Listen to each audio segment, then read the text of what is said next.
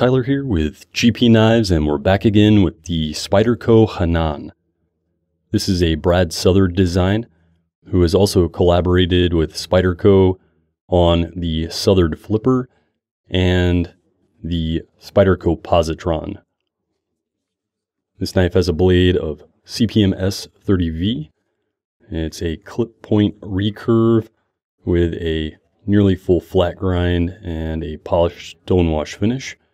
You can see that there's a small trademark round hole here, but not large enough for using it to open.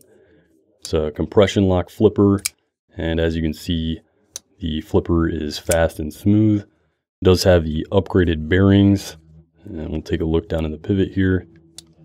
And here you can see the heavy duty phosphor bronze washers. Inside those washers are going to be extra large bearings that deliver a very smooth operation and very fast deployment. Handle construction consists of two beefy titanium liners, which support these titanium bolsters and polished black G10 handle scales. You get almost a wood grain texture here, so it gives a nice blend of modern and classic looks.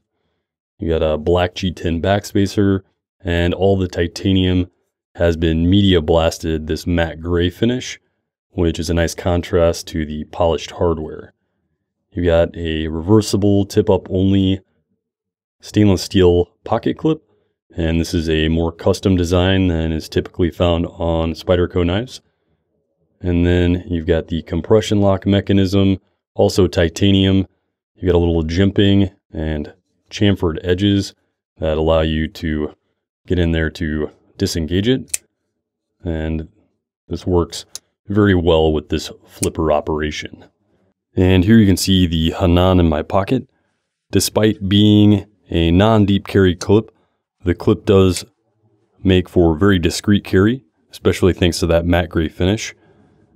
The knife draws smoothly from the pocket thanks to the smooth contour G10 handle scales.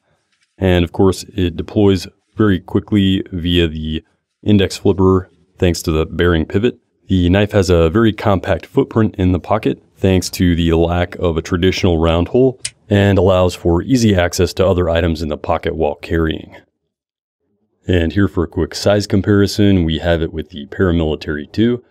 You can see that the Hanan is quite a bit smaller than the PM2, but actually has an almost identical blade length and the same amount of cutting edge as the PM2.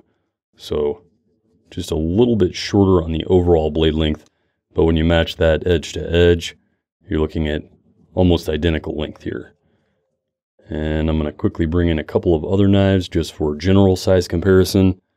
It's a little closer in size to the Spyderco Delica, but you can actually see that overall it's a little bit smaller than that in the length. Blade length is going to be about the same on these two.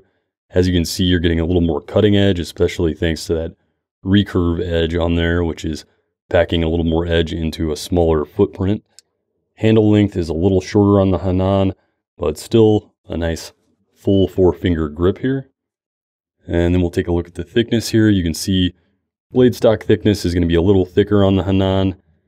The handle thickness as well, but that's to be expected with that thick titanium liner construction with G10 and titanium scales over the top. And lastly, I have it with the Victorinox Alox Pioneer. Fairly similar in size, just a little bit longer than the Victorinox here. And we'll close these up and you can see just how small the footprint is on the Hanan. Fairly close here. So if you're used to carrying a Swiss Army knife that's about this size, the Hanan is not going to take up too much more real estate in the pocket. So a nice, good sized cutting edge and cutting tool in a very compact package. Again, this is Tyler with GP Knives and the new Spyderco Hanan Brad Southard designed compression lock flipper. You can check it out now at gpknives.com. Thanks for watching and stay sharp. If you like what you've seen today and you'd like to see more, check out the rest of the videos on our YouTube channel. like the video below, and click the icon at the bottom right hand corner to subscribe to our YouTube channel feed for updates on all new videos.